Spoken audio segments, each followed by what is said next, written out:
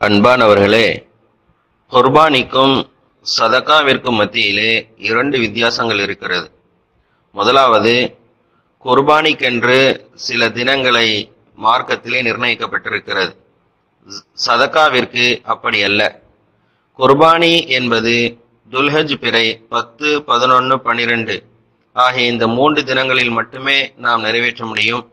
அதற்கு பின்னர் வருடத்தினுடைய மற்ற நாட்களில் இந்த குர்பானியை நிறைவேற்ற முடியாது. ஆனால் சதக்காவை பொறுத்தளவிற்கு எந்த விதமான தினங்களும் அங்கு நிர்ணயம் செய்யப்படவில்லை.